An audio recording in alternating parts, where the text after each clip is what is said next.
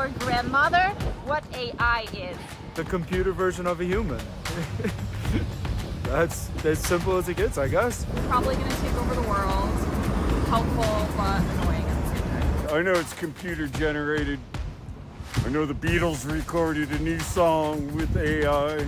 I would describe it as basically chewing up and spitting out millions of other made things and then basically taking a best guess on how to repackage them based off of a prompt you gave. It's like a brand new baby. Takes comes out not very smart, but the longer it's alive, the longer it learns.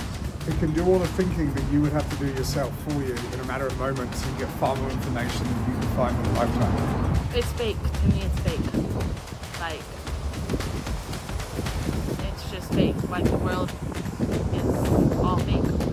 Like a robotic human, I guess. You know, like, I don't know, like, not like us, I guess. Like smarter versions of us, you feel me? I got you. Yeah. Like, my, like, my grandma don't even know what Wi Fi is, you know, so that would be kind of tough, honestly. but yeah, AI's coming a long way.